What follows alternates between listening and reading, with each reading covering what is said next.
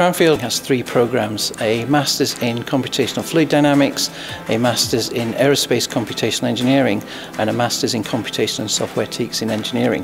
The students on each MSc will be working together, which is vital in industry. The students will start learning the fundamentals of computational engineering.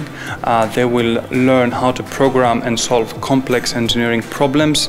They will not only be able to solve these problems by applying commercial software, but also be able to program their own codes and implement that in uh, practical applications.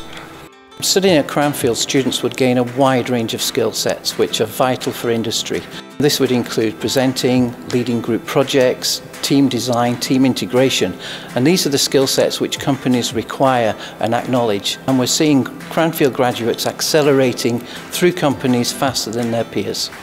The reason why I wanted to go to Cranfield University is particularly because I really like coding and being capable to use the computational tool in order to answer the engineering problem.